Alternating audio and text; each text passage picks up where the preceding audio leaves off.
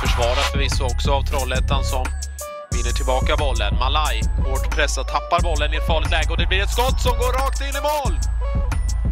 Tappar bollen utanför straffområdet. Kan bli kritiskt och det blir det ju verkligen för, eh, för Trollhättan den här gången.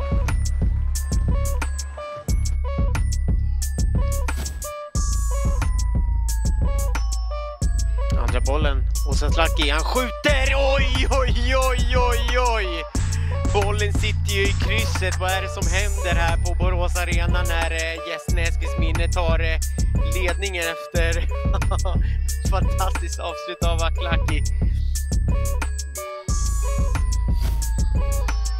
En annan inhoppare, nämligen Amilon Persson från Hittarps IK. Och här, han loppar in! Han gör mål igen här! Ja, det är ju underbart att se. Vilket mål! Kärleka igen. Spela upp i luften, Agoda var den som gick vinnare den striden, får tillbaka bollen. Och det där är så tjusigt spelat! Så blir det mål också! Oj, oj, oj, oj, oj! Vilket fantastiskt anfall som slutar med att Leonardo Farah, 20-åringen, får visa varför han är en av seriens främsta talanger luftspelaren. Besseron Kodalive 1,96.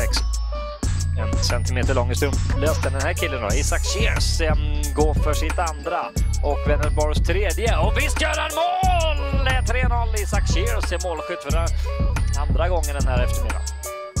Isak Shears sprintar förbi um, Jens Lynard och sen håller i och är så kylig när han lägger in den i bortre.